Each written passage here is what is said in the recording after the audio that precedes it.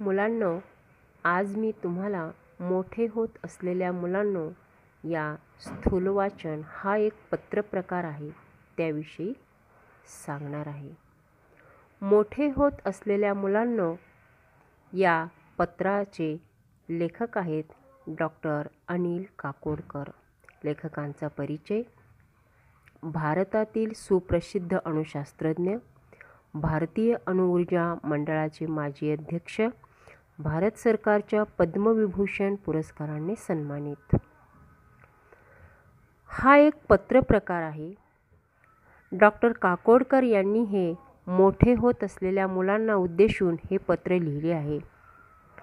त्यांचे बार्कमधील अनुभव मुलांचे भावविश्व निश्चित समृद्ध करतील. बार्क म्हणजे काय? तर बार्क हे भाभा ॲटॉमिक रिसर्च सेंटर म्हणजे भाभा अणुसंशोधन केंद्र या नावाचे लघुरूप आहे. मुलांनो कुठल्याही मोठ्या कामाची सुरुवात असंख्य छोट्या छोट्या कामांमधून होत असते. म्हणून कोणतेही काम कमी दर्जाचे न मानता ते करायची सवय ठेवली तर मोठी कामे करताना अडचणी येत नाहीत असा संदेश लेखकांनी या पाठामधून आपल्याला दिला आहे. मोठे होत असलेल्या मुलांना या पत्रातून लेखक आपल्याला त्यांचे बार्कमधील अनुभव सांगणार आहेत. पाठाची सुरुवात मोठे होत असलेल्या मुलांना या पत्रातून मी तुम्हाला माझे बार्कमधील दोन अनुभव सांगणार आहे. मला खात्री आहे माझे हे दोन अनुभव तुम्हाला अधिक अभ्यास करून तुमच्या भूमिका निश्चित करायला मदत करतील.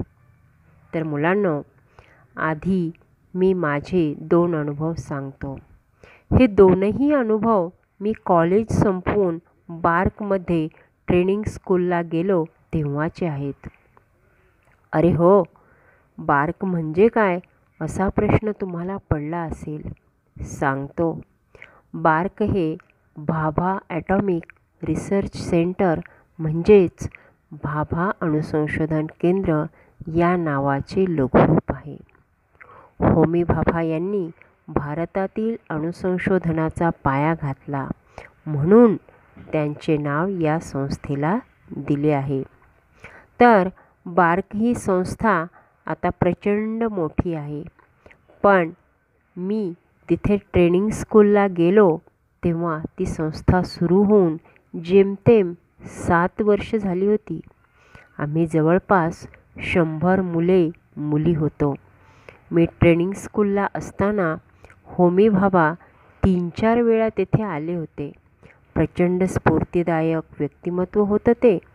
एकदा आम्ही त्यांना विचारलं आम्ही इतकी मुलं मुली आहोत पण सर्वांना पुरेल इतकं काम कुठे आहे इथे? ते म्हणाले तुम्ही त्याची काळजी का करता?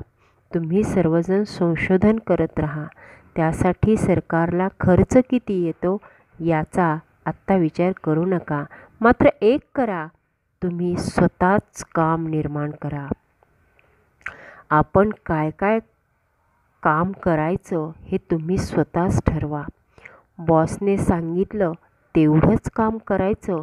आणि सांगितलं नसेल तर आपल्याला कामच नाही असं समजायचं हे चूक आहे. ही प्रवृत्ती गेली पाहिजे. बाबांनी सांगितलेला हा मुद्दा माझ्या मनावर कोरला गेला आणि मुलांनो स्वानुभवाने सांगतो एकदा हे लक्षात आलं ना तर sky is the limit boat धरून चालवणं किंवा दिशा दाखवणं हे पहिल्या आठ दहा वर्षापर्यंत ठीक आहे. आवश्यकही आहे. पण अंतिमत स्वतःच स्वतःला सक्षम करता आलं पाहिजे. ऊर्जा मिळवता आली पाहिजे आणि स्वतःचे मार्ग शोधता आले पाहिजेत. आता दुसरा अनुभव सांगतो. ट्रेनिंग स्कूलमधील प्रशिक्षण संपवून मी बार्कमध्ये इंजिनियर म्हणून जॉईन झालो. तेव्हा तिथे मेटलायझिंग प्रक्रियेवर मला काम करायला सांगण्यात आलं. आमच्याकडे त्यासाठी यंत्रसामग्री होती. पण कोणीही ती वापरली नव्हती. म्हणून मी म्हणालो मी यावर काम करतो पण यासाठी मला एक वेल्डर व एक फोरमन यांची गरज आहे. तेव्हा मला सांगण्यात आलं तुला आता काहीच मदत मिळणार नाही. तुला स्वतःलाच सर्व करावं लागेल.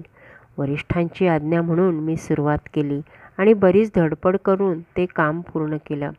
पण त्यांनी त्या कार्यक्रमाची व्याप्ती वाढवली. हे करूया ते करूया असं बरंच काय काय म्हणाले आणि मग विचारलं आत्ता सांग तुला काय पाहिजे? तुला वेल्डर मिळेल फोरमन मिळेल आणि जे हवं असेल ते सर्व मिळेल. यावर मी म्हणालो आता मला काहीच नको. मी स्वतः सर्व करीन.